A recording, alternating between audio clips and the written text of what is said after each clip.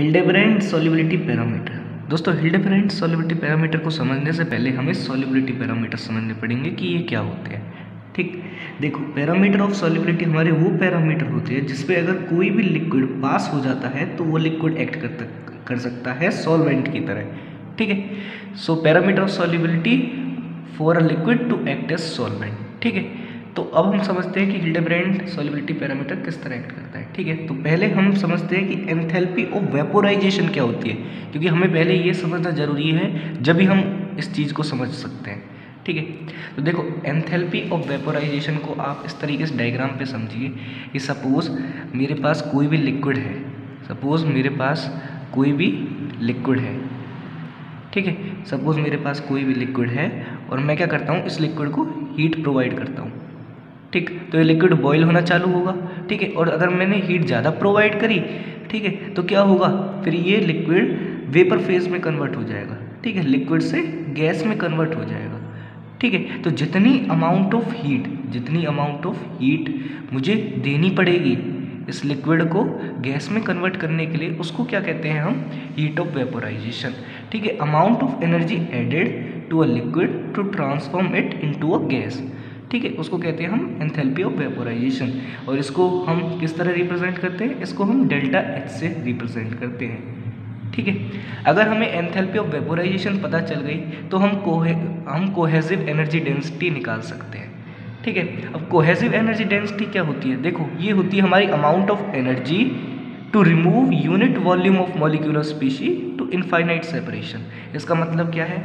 इसका मतलब ये है कि ये वो कोहेजिव एनर्जी डेंसिटी हमारी वो एनर्जी होती है जो हम देते हैं किसी भी लिक्विड को, जिससे कि, देखो लिक्विड अपन लिक्विड जो पार्टिकल होते हैं वो दूसरे पार्टिकल के साथ इस तरीके से बॉन्ड बना के रखते हैं आपस में, ये लिक्विड के पार्टिकल्स हैं, ठीक? तो जो एनर्जी मैं इस पार्टिकल को दूँगा, जिससे ये पार्टिकल अपने इन लिक्विड भाई बंधुओं से दूर होके अलग बिल्कुल इनफाइनाइट सेपरेशन पे चला जाए, ठीक है? उसको कहते हैं हम कोहेजिव एनर्जी डेंसिटी ठीक है? तो कोहेजिव कोहेजिव एनर्जी डेंसिटी क्या हुई? Amount of energy to remove unit volume of molecular species to infinite separation ठीक है? सो so, इसका फॉर्मूला क्या होता है? इसका फॉर्मूला होता है हमारा देखो कोहेजिव एनर्जी डेंसिटी को हम स्मॉल सी से डिनोट करते हैं। इसका फॉर्मूला होता है हमारा delta H minus R T upon V ठीक है? डेल्टा एच क्या है? एंथैल्पी ऑफ़ वेपोराइजेशन जो हमें ऊपर मिली। आर क्या है? हमारा गैस कांस्टेंट टी क्या है? टेम्परेचर वी क्या है? मोलर वॉल्यूम ठीक है? जब आपको कोहेसिव एनर्जी डेंसिटी क्लियर हो गई, तब आप हिल्डेब्रेंड सोलिबिलिटी पैरामीटर आसानी से समझ सकते हो। ठीक है? तो देखो, जितनी एनर्जी जितनी एनर्जी हमें देनी पड़ेगी जिससे कि जो पार्टिकल होगा लिक्विड का, ठीक है? जो लिक्विड पार्टिकल होंगे, वो इनफाइनाइट सेपरेशन पे चले जाएँ। ठीक है? जितनी हमें एनर्जी देनी पड़ती है। क्या ये एक एस्टीमेट प्रोवाइड कर सकता है कि भाई हम उसको इतनी ही एनर्जी देंगे जितनी कि इसमें डिस्पर्जन फोर्सेस जो होते हैं?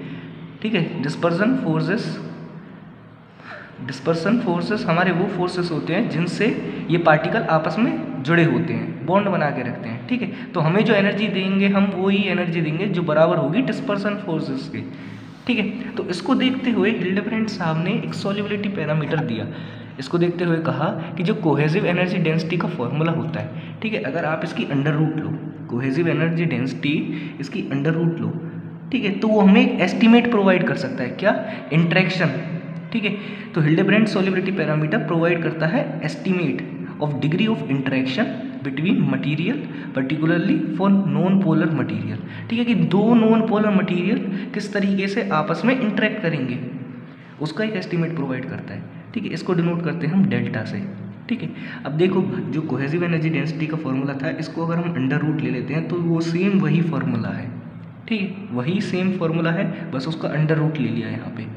ठीक है तो अब देखो, इसमें जो डेल्टा एच होगा वो हमारा हीट ऑफ़ वेपोराइजेशन होगा। डेल्टा एच हमारा हीट ऑफ़ वेपोराइजेशन होगा। जो हमने ऊपर पढ़ा आर होगा, वो हमारा गैस कांस्टेंट टी टेम्परेचर और वी मोलर वॉल्यूम ठीक है, अब आपको ये याद रखना है, जो हिल्डेब्रेंड सॉलिबिलिटी पैरामीटर होता है हमारा, ये केवल नॉन पोलर और स्लाइटली पोलर सॉल्वेंट्स के लिए ही होता है। ठीक है पोलर के लिए नहीं होता, ये केवल नॉन पोलर और स्लाइटली पोलर सॉल्वेंट्स के लिए ही होता है। ठीक है, आप चाहें तो इसका स्क्रीनशॉट भी ले सकते हैं।